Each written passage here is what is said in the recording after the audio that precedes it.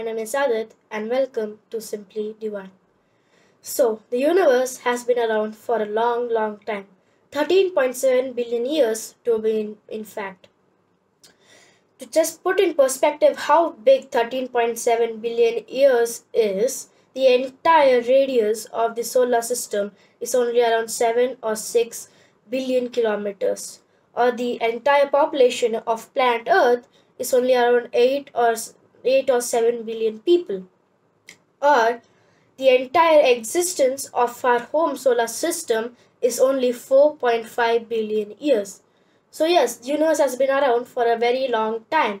But how did all of this come to be? How did everything in the universe black holes stars galaxies planets planetesimals dwarf stars etc how, how did all of this amazing wonders came into being? Well Let's find out.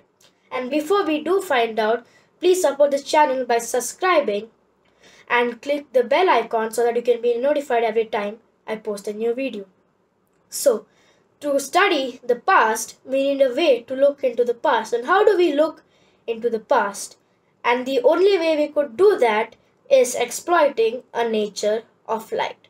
Now, most people see light as something non-tangible something that comes out of your bulb. So you just brush it away in your daily life. But we need to look at light as something much more. We need to look at it as something tangible.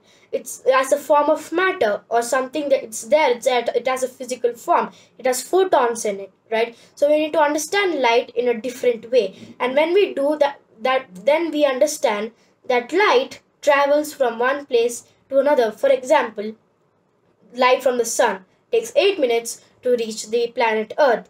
And light also helps us see everything around us. When you turn on your bulb, the light bounces back into your desk and then comes back into your eyes and your brain perceives as what color is it? In my case, it's blue. So light helps us to perceive the world around us and see what it is.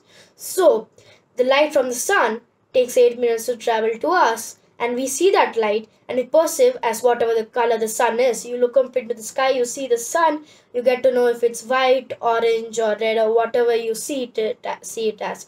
But the thing is, the important point here is light takes 8 minutes. That means that whatever you're seeing about the sun, all the information you get from looking at the sun, all the visual information is happening 8 minutes in the past because 8 minutes is the time it took here. We are only seeing what's happening 8 minutes in the past of the sun right? So that means we can't never really see what's happening at that moment. Even when you're looking around the, your room or wherever you're sitting you're actually seeing it even milliseconds in delay. There's no actual way to see it in perfect live time we can use this nature to study the young universe for example if there's a planet millions of thousands of light years away from us, people living there when studying our planet will only see dinosaurs because dinosaurs light have reached them. Our light still has not. It's still traveling towards them. So they will see whatever's happening in the past of our planet and not in the present. And we can reverse this nature. And whenever we see a distant star or maybe a distant galaxy we are seeing what's happening in the past of the galaxy and not in the present. So none of it is real time. It might be already dead, the star, but we see it as alive, well and young. So the further we look, the, for the more distance we look into the universe, the younger the universe gets. So this is how we study the universe's past. Now, what have the studies revealed, and what is the best theory to understand how the universe came into existence? There are thousands of theories of how it came, but the most believed and probably the most true one is the Big Bang, which all of you might have heard of. So, what happened in the Big Bang? Well, before the Big Bang, there was practically nothingness, and that's what we think. There was nothingness, and there's probably no way to know what happened before the Big Bang. But when the universe burst into existence, and we need to slow down time by milliseconds to see what's happening because everything is happening really really fast. This small burst is expanding into millions and billions of light years in just seconds. Right so let's just slow down time and let, let's take a closer look. And what we see is photons and leptons and bosons and uh, quarks and all of these small small subatomic particles just zipping around in this tiny young universe right? And then the universe is expanding really really fast. And these particles are spreading everywhere and some of them just fusing into each other or combining to create sub subatomic particles like neutrons electrons and protons. And these are neutron electron protons combining to create the first ever atom in the universe which is hydrogen. Hydrogen being the simplest lightest and the least massed atom in the universe was also the first atom to be ever created. So, in this expanding young universe, there was an abundance of hydrogen and a little bit of helium. And in some of these places, there was just these pockets of hydrogen and a little bit of helium called as nebulae. Nebulae are places with condensed material and condensed gravity. And this con high and strong gravities in nebulae cause the hydrogen to fuse into each other and this process is called nuclear fusion. Fusing two atoms together creates a huge burst of energy. Fusing a simpler atom creates more energy. So fusing two hydrogen creates a huge burst of energy which the gravity contains and turns into a circle. And the more and more fusion it does, the larger the star gets and all this fusion is happening in the core of the star. So this is how the first stars came into existence, right? So in this core, there's rapidly this process of hydrogen turning into helium and hydrogen turning into helium again and again and again. And the star's radiation, which is the outwards force, and the star's gra gravity, that is the inwards force, are equal and it's in a equilibrium state, right? So what happens is that over time, this hydrogen runs out what all of it has turned into helium.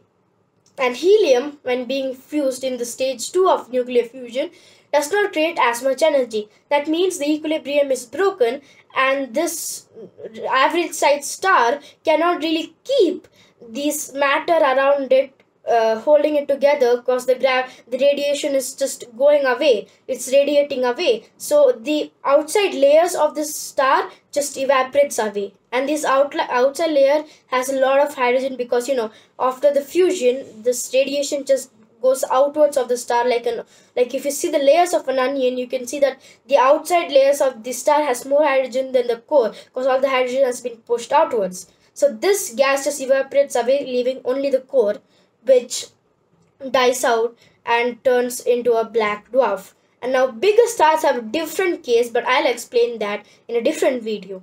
So what happens is that this evaporated away uh, highly hydrogen condensed gas turns into a new nebula and that creates new stars. So basically this is just a star's life cycle process or star's reproduction you can say it as and this is how more and more stars came into being and more stars means more gravity in the universe. And in this huge universe this gravity pulled some of the stars together to create uh, clusters. And this clusters created galaxies.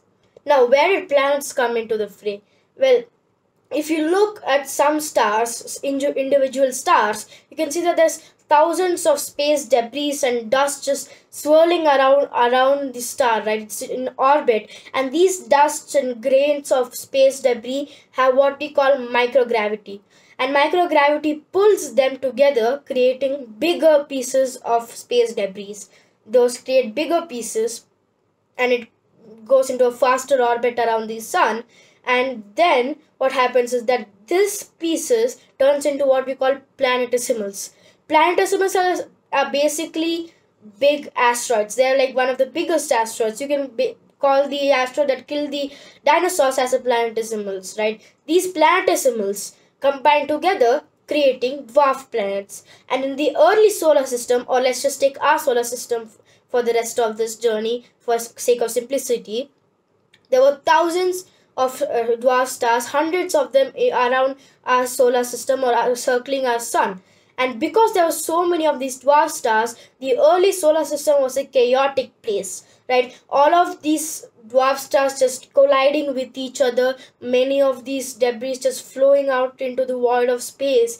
All of these actions are happening in the solar system. And what happens is that when two dwarf stars, dwarf planets collide, they create a bigger planet, yeah? And we can call it a planet because it's big enough.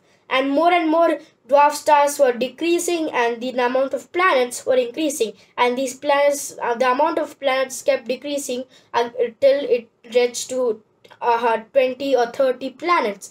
And at that time, we, we had the young earth and the young earth was bigger than the earth that we live in now and what happened is that a planet the size of mars collided with the earth and a huge part of the earth just flew into space and started orbiting the earth just like the planets orbit the sun and what happened is that the same principle how rocks around the sun turn into planets in the same way the debris circling the earth turn into the moon so now we have eight planets the earth and the moon. F from there, what happened? So how did we get water? Because water is the building block for life. So how water came, we have multiple theories. For example, comets are basically full uh, chunk of ice. They are full of waters. And during the early Earth, there were a lot of meteorite showers and the Earth was really hot. So water in comets just crashed into the Earth. That water evaporated into H2O clouds and when the earth, when the sun started to cool down a bit the and the earth was in the right position as the position it is currently it entered in the place called the goldilocks zone. What is the goldilocks zone? So basically goldilocks zone is a place where it's neither too hot or neither too cold and water can be in its liquid form. For example, if we look at Venus or Mercury, we can see that it's too close to the sun and it's too hot and water is always evaporating or maybe water can't even exist in, in planets like those. Or if we look at places beyond the earth like Mars, Jupiter, uh, Neptune, Uranus, uh, and Saturn, these places are much further away from the sun, so they are too cold for uh, water to exist in liquid form. They just turn into ice or water maybe can't even exist there. So that means life cannot be or will be very difficult to exist in these two places. But when it's in the right spot from the sun where where there's not extreme heat or extreme cold, there water can be liquid and there life can develop. And what happened is that in these craters where the old meteoroids have hit, there they turn into water basins. Water rained down after the earth cooled down and turned into huge oceans, and water came into life. And life led to life on land, and that evolved into reptiles. Reptiles evolved into mammals. Mammals evolved finally to us, and here we are of 13.7 billion history behind us right? And no one knows what is happening what's going to happen in the future. But we know that there's a lot more in the future than there is in the past. Because compared to the age of the universe 13.7 billion is a minute number and we could see the universe still as a baby. So let's see what happens in the future. And that's it for today